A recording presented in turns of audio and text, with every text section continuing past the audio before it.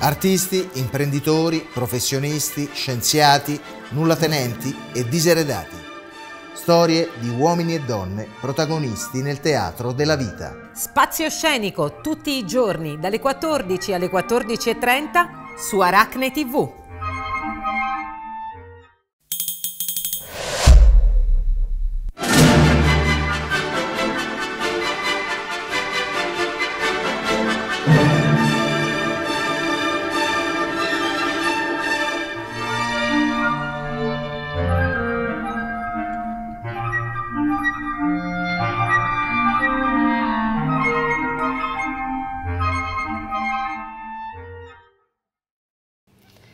Siamo ospiti della splendida cornice di Vivere e Raccontare, un programma di Aracne TV ideato da Augusto Zucchi e Gioacchino Onorati, dedicato agli autori che desiderano raccontarci le loro opere di carattere creativo, quindi ringraziamo. Il sipario di Spazio Scenico si apre sul nostro ospite di oggi, Marlene Prodigo, violinista presso l'Orchestra Nazionale dell'Accademia Santa Cecilia. Ben arrivata Marlene. Grazie per l'ospitalità. Il ruolo, mm, per essere precisi, è il ruolo di concertino dei primi violini. Questa definizione che cosa significa? Spieghiamo Beh sì, perché eh. molto spesso mi chiedono quale ruolo ricopro in orchestra e chiaramente concertino non per tutti significa qualcosa. È facile capire Non è facile bene. Eh. capirlo. Allora, il concertino si trova esattamente di fianco al primo violino, mhm. -huh. primo violino spalla dell'orchestra e quindi il ruolo è quello di, di stare accanto al primo violino nella fila dei primi violini.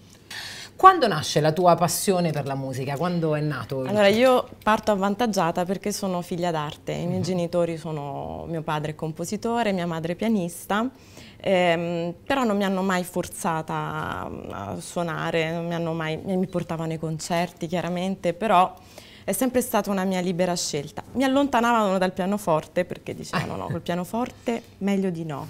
Ma mm, poi... Perché il pianoforte? Ma no? perché comunque mm, alla fine è uno strumento sociale. Mm. Si suona solo quello, si studia tantissimo, invece altri strumenti ti permettono di mh, di fare anche altre cose, orchestra, fin da piccolo, quindi...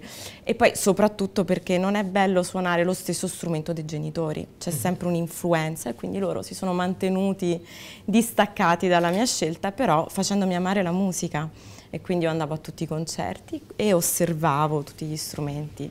Poi mia madre suonava in duo con un violinista, mm e vedevo che si divertivano tanto. Amavo il suono del violino e quindi a un certo punto ho deciso voglio suonare il violino. Mm. I miei genitori, sempre con le pinze e tutto quanto, ok, inizia a suonare il violino, però hanno detto al loro amico tre mesi, non di più, se è negata la facciamo smettere.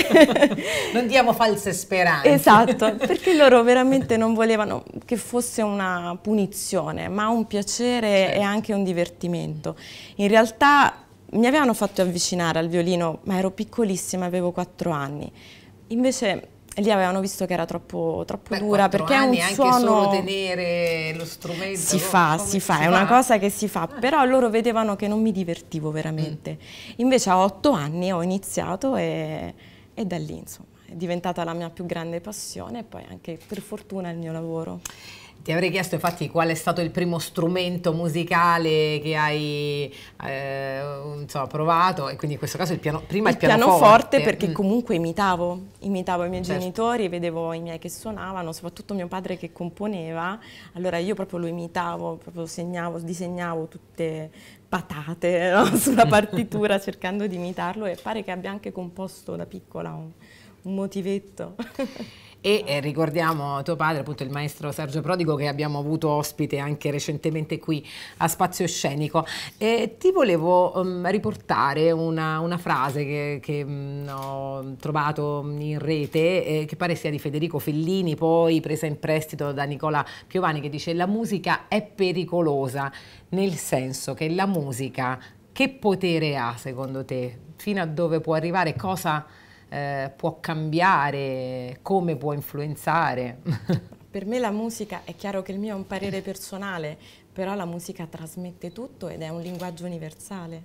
Spesso, per esempio, vengono dei direttori da noi che non parlano la nostra lingua, eh, chiaramente parlano in inglese, però è impressionante la comunicazione che c'è attraverso la musica. Basta un, un gesto, basta anche un'emozione. Io credo che un linguaggio basato sull'emozione sia qualcosa di incredibile, e, veramente può avvicinare chiunque. Bisogna trovare il modo uh-huh. per rendere questo linguaggio più vicino al pubblico e non è detto che un pubblico tra virgolette non colto non recepisca quello che noi vogliamo trasmettere e da qui si può parlare tranquillamente Infatti, del... Mi, mi, mi, sarei legata, mi lego proprio a questo discorso per, per, sapere, per capire come avvicinare i giovani alla musica classica. Eh, forse la bellezza che è in qualche modo universale eh, si riconosce, non c'è bisogno di, di avere una, una, conoscenza, come dire, intellettuale teorica, ma si percepisce. Magari anche avvicinando i giovani con eh, scegliendo un determinato repertorio e secondo me anche spiegandolo, mm -hmm. perché parlare avvicina molto le persone. Spesso nei nostri concerti, soprattutto di musica da camera, ma ogni tanto succede anche in orchestra, eh, quando si va a eseguire un brano anche complesso, ci capita di spiegarlo e questo avvicina tantissimo le persone perché le prepari, le fai entrare in quel mondo.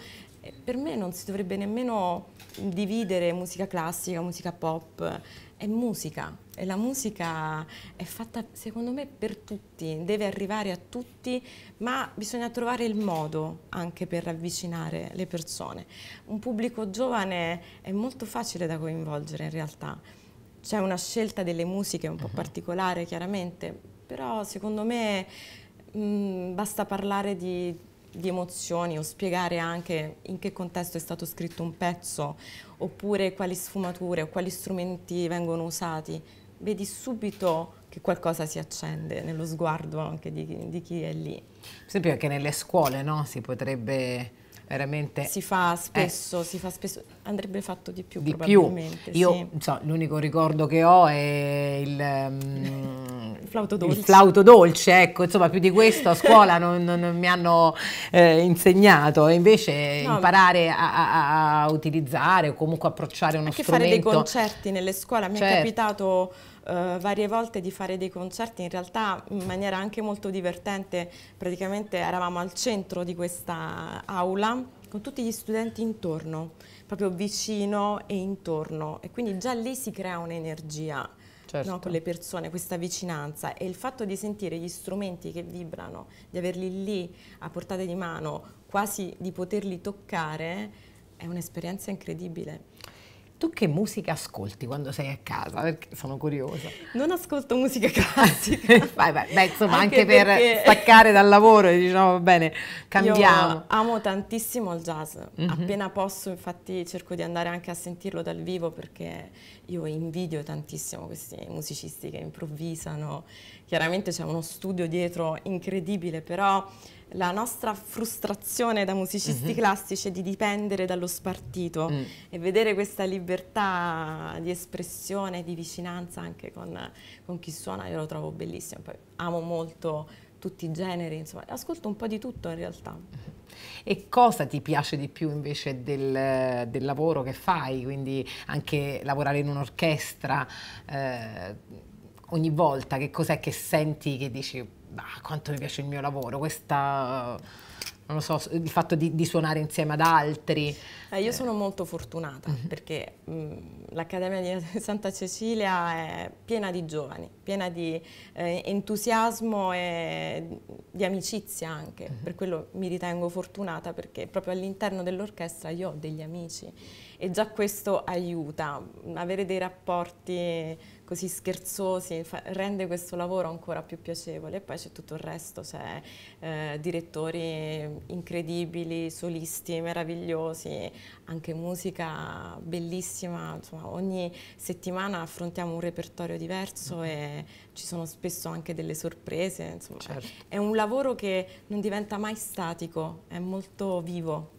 E tra i tanti musicisti che hai incontrato c'è un uh, incontro che ti ha segnato particolarmente? Tantissimi, tantissimi. Posso parlare di quello più recente con la grande violinista Lisa Battiashvili, mm -hmm.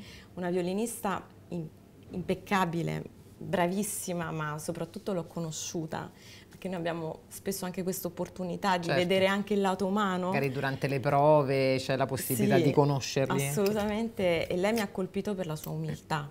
Vedere un- una solista di fama internazionale che eh, gira il mondo ogni settimana, ha un impegno in eh, paesi diversi, che ha una famiglia, ha due figli, un marito e, e lei decide eh, i suoi periodi in funzione anche della famiglia e questa cosa mi ha, mi ha colpito tanto. Infatti anche questo volevo sapere da te perché poi insomma eh, essere musicisti a un certo livello richiede tanto impegno e quindi anche sacrificio e magari a volte vengono messe da parte insomma eh, appunto famiglia o affetti. Eh, chi è Marlene nella vita privata? Riesci a, a cogliere o a ritagliarti uno spazio per altre passioni? Eh, come... È molto difficile anche perché oltre all'orchestra io suono anche con il sestetto Stradivari, sono Mhm. tutti colleghi eh, della mia orchestra e mm, quindi oltre agli impegni dell'orchestra e alle tournée, perché facciamo anche tante Certo. tournée, io poi ho anche questo impegno bellissimo e meraviglioso e anche altri progetti che mi spingono ad andare fuori spesso. Quindi il tempo a casa è pochissimo, Certo.